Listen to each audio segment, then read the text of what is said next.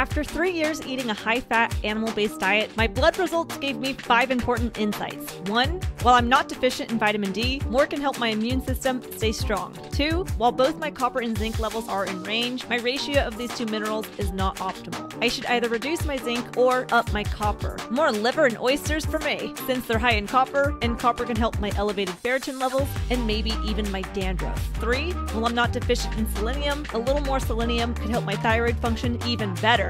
Four, Dr. Soul advised me to drink more water to help my liver enzymes. I usually forget to drink H2O, and it's not until right before I'm going to bed that I think, oh snap, I barely drank any water today. Holy moly! Five, I have an anxious mind, which could be why my white blood cells are a little low and my cortisol a little high. They say stress kills, so I need to find a way to kill stress.